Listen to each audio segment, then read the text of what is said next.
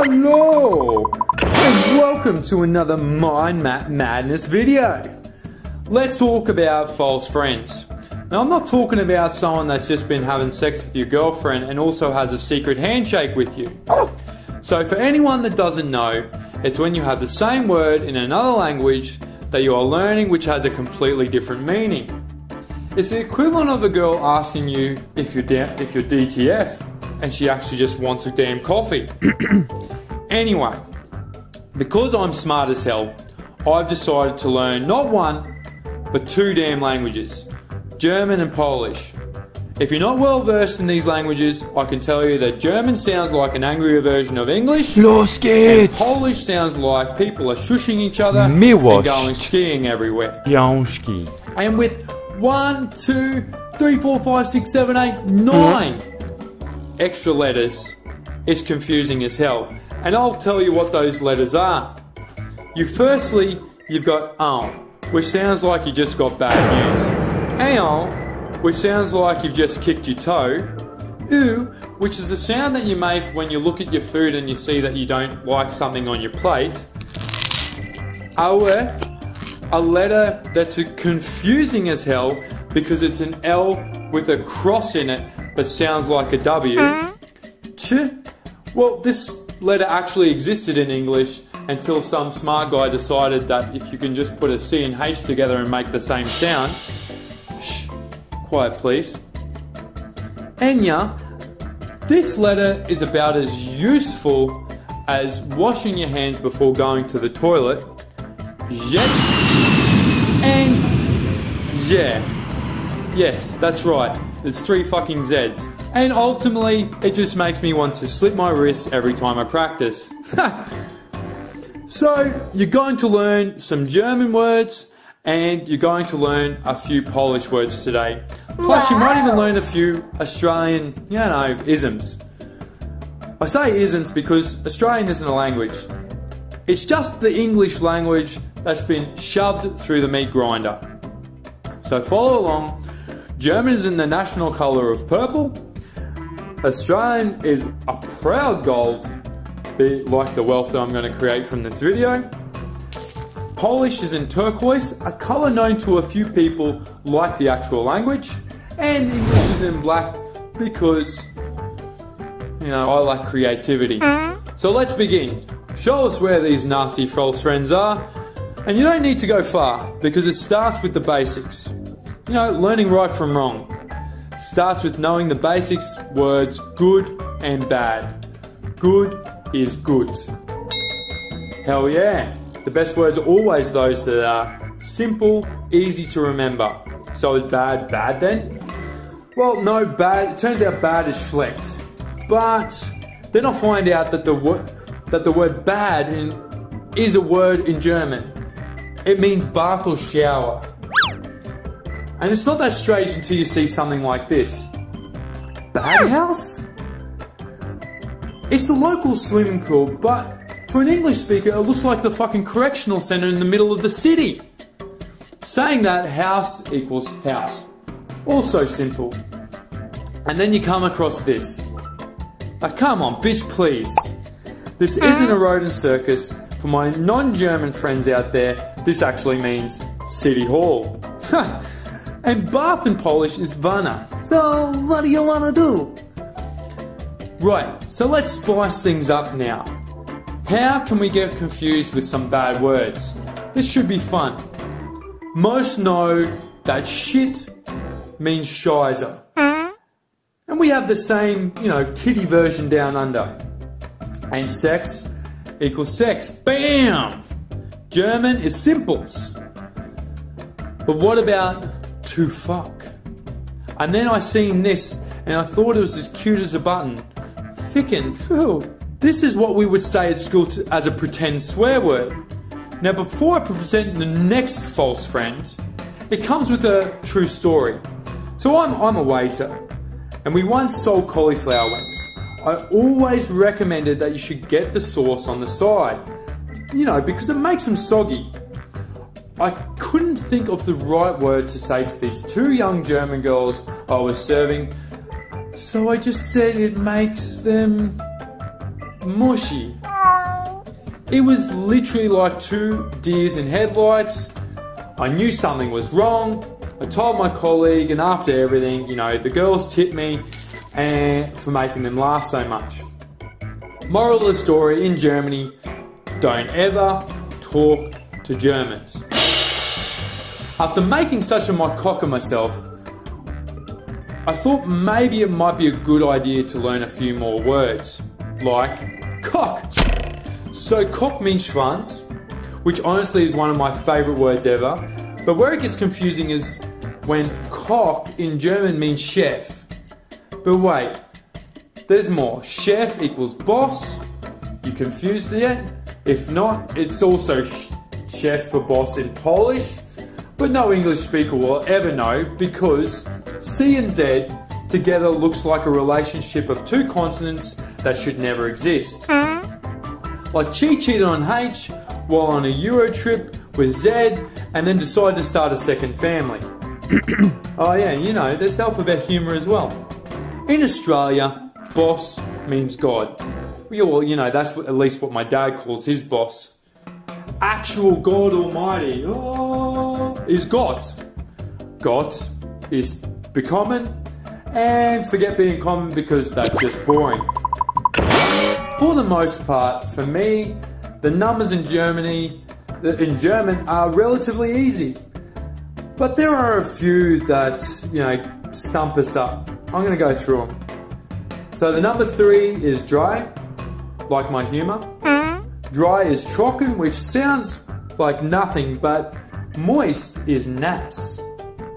Although this is not a false friend, I wanted to just add it to the video so I could say the word moist and give two thumbs up for nass for almost being as cool as the word moist. Four is fear, which sounds like fear, which is what I get when I don't get enough people subscribed, so bloody do it now. And to make matters worse, vor in German means before. And vor, you decide to go to the bar and order for you and your five friends, I wouldn't say ich will six.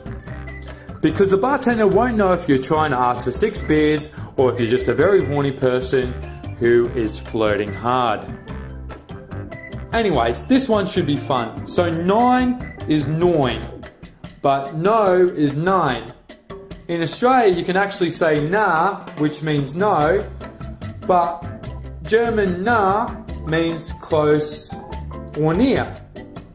Brilliant, but by, by far my favourite number is 11, which is elf in German, which makes it feel like I'm in Santa's warehouse every bloody time. Let's move on to body parts. Now, we've already established that dick equals funds, but dick also means doodle, which I still remember when I was a kid when my mum stopped telling me to play playing with my doodle last week. But what's even better than the fact that Germans have the same sounding words with different spelling is that dick means thick. Just so many normal words in German which make immature people like me giggle every time.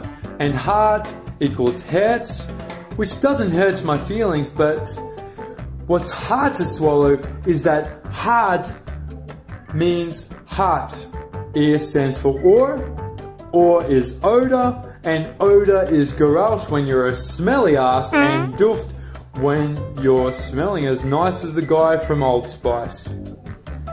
Arms translation is armor, which obviously sounds like you're going into battle, but less common in Australian is Imer, which can be pronounced armor. Remember, meat grinder. Let me put it into a sentence. I gonna get me a beer? Am I gonna do the right thing this time? Am I gonna have a Barbie this weekend? Then you have one of the words for your tush, which is pop. But really, it looks like a spelling mistake for the word shizer.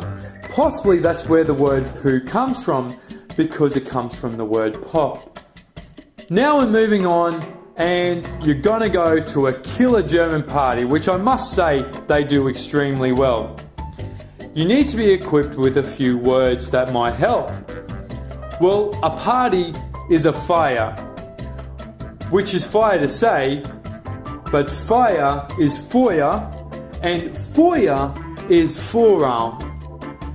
And it's really important you look after your mobile at any party, that's, that's for sure. But what's not as handy as losing your phone is the fact that handy means mobile phone. And what's funny is that a lot of Germans think handy is an English word. It is, but the wrong damn meaning. And with some parties, you might need to bring a chair, which is stool. Well, that, that's super easy to remember because it's like stool, which is Hocker in German, which sounds very familiar to hooker. And while, if you're wrongfully accused of being hooker is just horrible, being called a nutter is absolutely hilarious. In this meaning, because the professionally literally means to get paid to bust nuts. And totally beats the English meaning of being someone acting crazy or obscurely funny. As well, most girls won't go out without their bag, and a bag is called a tasha, which is very similar to the girl I lost my virginity to. During Halloween, at the door uh, of the party, you're expecting that Frankenstein is going to welcome you at the door with the word Enter. Not in Germany, because that means our friend Daffy Duck. Just a few more words before I give you my final comments. So, as an adverb, like so, what are you doing this weekend? Is also in German. Also is auch, and the German so, well, you know, has about 50 meanings. Also important to learn the word please, because it's nice to be polite. This word in German is bitter, just like the way I like my beer. Flowers always nice to get for your loved ones, Bloomin', much like Bloomin' Hell, she's a bigot. We love to go away, you know, holidays, trips, rides. Well, a journey is not going to guess this fart. One word for fart in German is pups. If you were to change the phonetics to English, it would be pups, which is damn well short for puppies the cutest things in the world, they have decided to call Welpen, which sounds like somebody is being really sad. Oh, also, what have we learned today? Well, in the confusion of all this, it can make life very interesting. I'll show you. This is a typical day in Berlin. At the bakery, doesn't matter what it is. I always say I want sex. Because you know what? Sex is better than fear. To their reply, why not elf? You know, I have no use for this. Plus, I'm trying to be common. You know, normal. I get a call, my sweetheart wants to know if I'm coming home. Abruptly, I say, nah, I'm almost home. At home, after I unpack the groceries, I'm in the mood to be a cock. So I cook some food. But I'm no chef. My girlfriend is the boss. She yells out that Shivana. To my reply, this is bad. Please speak German or English. I would have got to help me, but I know I don't pray enough, and I have to say that my girl gets a bit mushy with me, and I say, Fickin' hell, girl.